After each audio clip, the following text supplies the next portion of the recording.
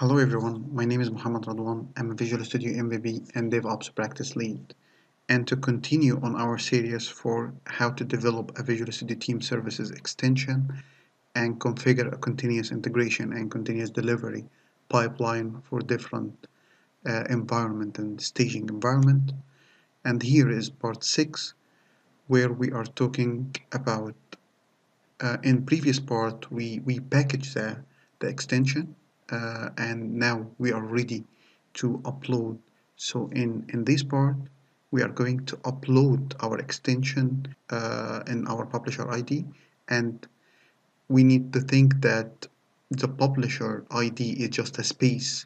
Then you can upload all your extension in this publisher ID and once we have that we start sharing the, the extension with which account we want and we, we need to specify which account we want to share. And then once we share that with this account we can install that extension on the shared accounts. So let's see that. My publisher. And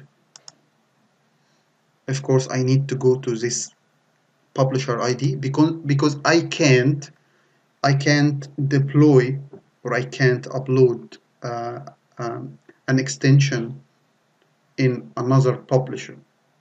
So I go for this and then just uploading the extension browse and then going to the extension and upload it.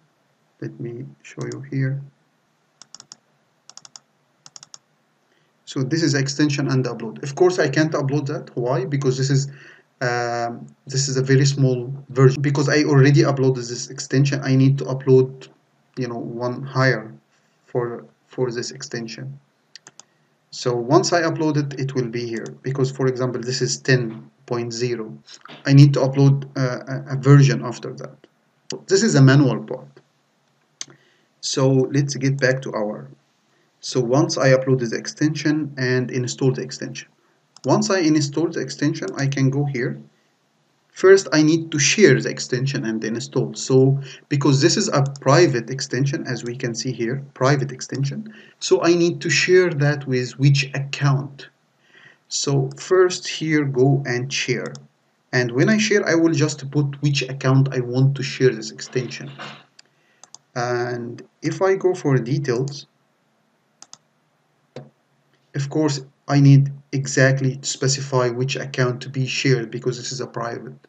So if I if I try to install the extension it will list all in the drop down it will list all the extension the accounts that I share this extension with. So as we can see I only share that with one account. But as we can see that this is extension already installed. Okay so this is how we publish the extension and share with the accounts. I would like to thank you for watching the video and please if you have any question don't hesitate to contact me. Uh, here is my blog. Thank you.